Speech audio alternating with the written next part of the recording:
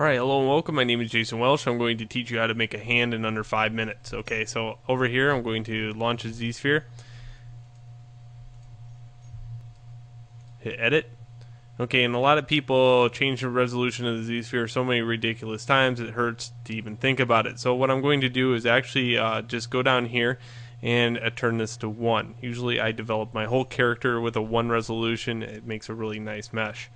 Okay, so in here I'm going to uh, just draw out another Z-sphere. Okay, so I'm just going to make the arm actually, and then maybe, you know, one to come out for the hand.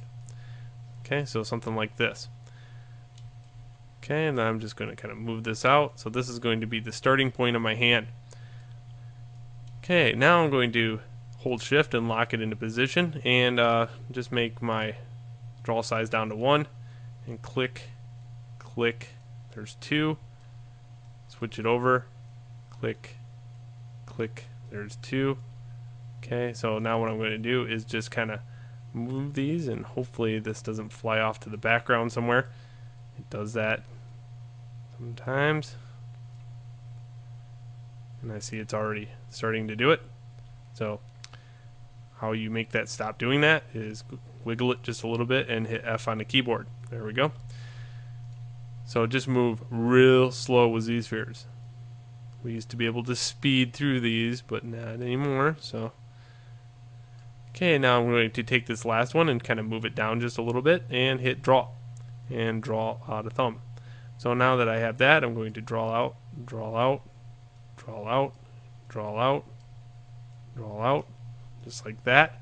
And I have this weird looking fork thing. Okay, so A and you're going to find out it has some pretty good geometry. Okay, so clicking to move, just going to move these out.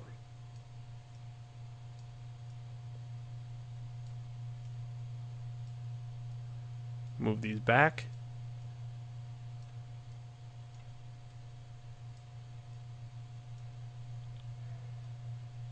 Okay, and if you see that finger actually has the edge loop going all the way around it with the thumb going off to the side a little bit. So that's pretty good actually.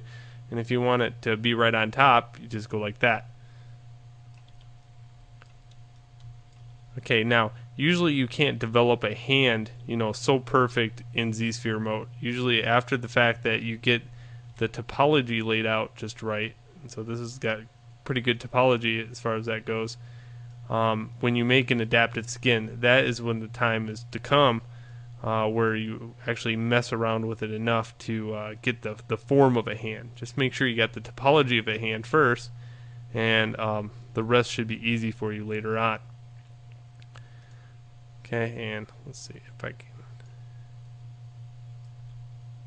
There we go. See, by pulling that back, it pulls everything else back. Okay, just don't go too far with it. Okay, when done, actually uh, just make a poly mesh like that.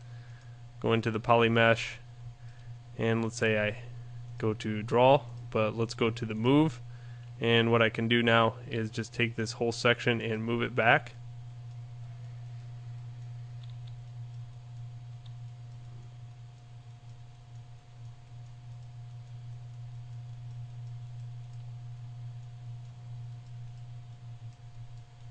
Voila, hand. And it's easy to sculpt on too. Now if you want additional edge loops in the area, I would highly suggest just inserting those Z-spheres ahead of time and you'll be alright. Well than that, you should be good to go as far as a sculptable hand. Alright, enjoy and have a good one.